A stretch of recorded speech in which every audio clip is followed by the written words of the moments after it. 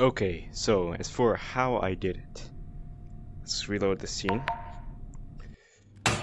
I figured out that you can do this on any wall with a corner that is a right angle like this.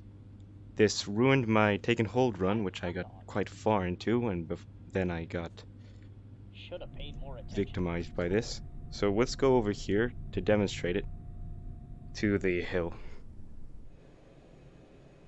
Hey, look at me, look at me. So you Oh. go over here and.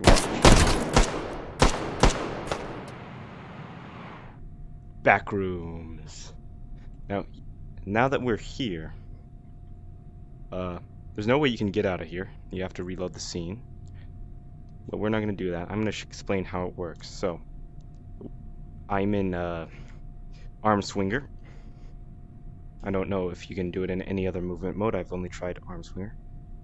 You go, put it yourself as close to the corner as possible, and then use the uh, then while pressing into it, move yourself around with the uh, A and y, X buttons. A and X buttons. Back rooms. It really helps if you press your cheek into the wall and then rotate in the way a of your cheek first, uh, so that you can do that. Yep, that's uh, that's how you get into the back rooms in hot dogs, horseshoes, and hand grenades.